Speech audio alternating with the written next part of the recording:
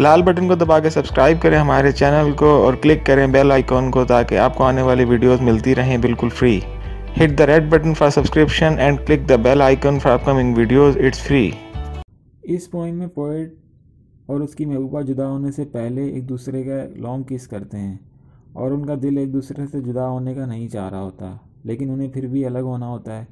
किस ख़त्म होने के बाद उन्हें एक दूसरे को गुड बाय भी कहना है, लेकिन इतनी ज़रूरत दोनों में से किसी एक में भी नहीं कि वो एक दूसरे को गो कह सकें।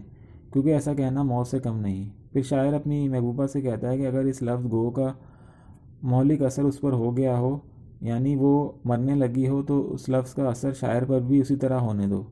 इस तरह शायर की दोहरी मौत होगी।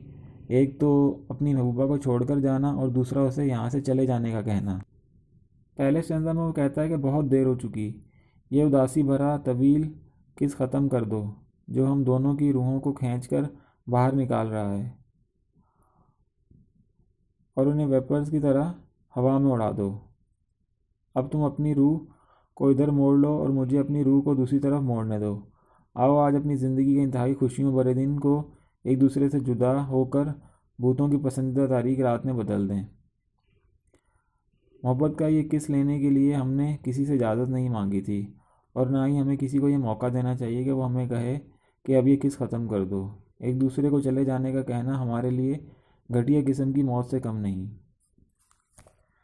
दूसरे संदा में वो कहता है कि जाओ, अगर ये लफ्ज़ गो सुनकर तुम्हारी मौत पूरी तरह वाक़ ना हो गई हो, यानी तुम पूरी तरह मर ना गई हो तो यही लफ्ज़ तुम मुझे कहकर मेरी मौत को आसान बना दो।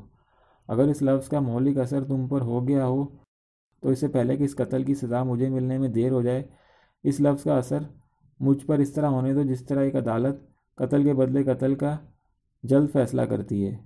इसलिए ये मेरी दोहरी मौत होगी।